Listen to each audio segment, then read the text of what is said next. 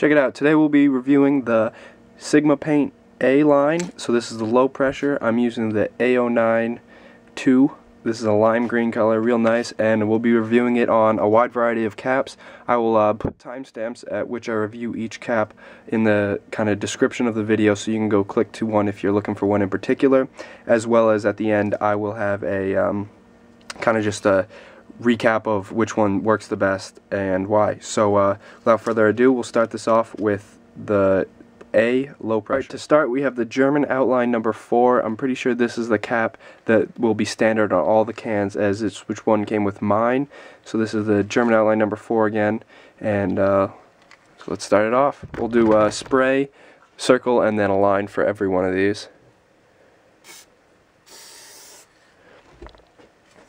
So that's probably that's a bit of a medium line, I'd say. Next up, we have the Fresh Paint Skinny.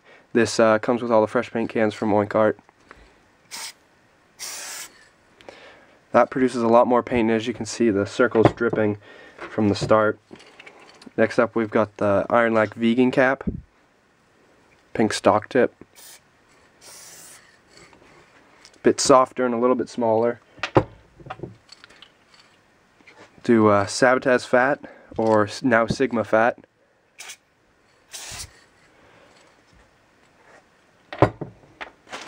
Got a beige dot.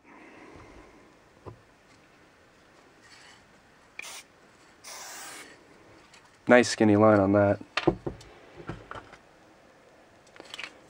Pink dot fat cap.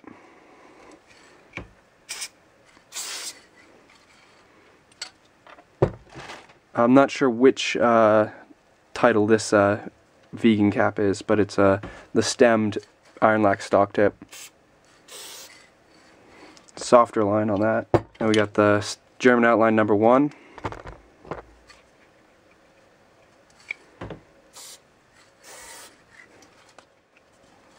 Rust-O-Fat. Rust-O-Fat does not spray, it locks up on the can. Got a NY Skinny. Once again, locks up on the can. Uh, I think this is the Eurofat with a gray dot.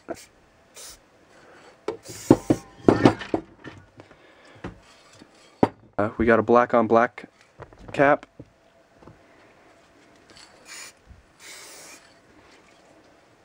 Forty-two karat gold dot.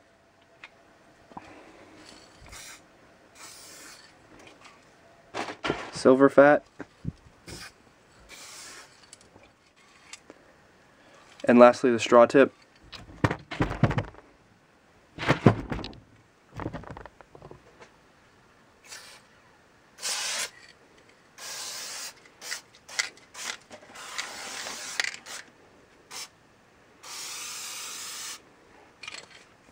Okay, so you get about uh, probably about two feet away with the straw tip, and uh, it gives pretty thin lines, but they're drippy as well, so uh, keep that in mind. And uh, as a final review, I would have to say the beige dot gave the most consistent thin line out of all of them, next to probably the Ironlak stock tip. I think that's which that one was, and uh, those two definitely produced the best. But uh, beige dot probably won, as the line was really crisp and thin, whereas some of them it's a little hard to tell on the camera, but it's kind of fuzzy on the line and it's not so solid. And when uh, you're looking for a low pressure, you're probably looking for pretty acute exact lines. So uh, definitely the beige dot for the low pressure can. And then as far as a fat cap goes, um, they were all pretty close. Um, not one in particular. I think I like the size of the silver dot the most, but it does kind of have the ghost hollow. So uh, that's just something to keep in mind so maybe you like the pink dot or the Eurofat better. But uh, that's my opinion. So if you want to check out the high pressure review and cap test, uh, be sure to follow the link in the description. And uh, that's going to do it for me. Peace.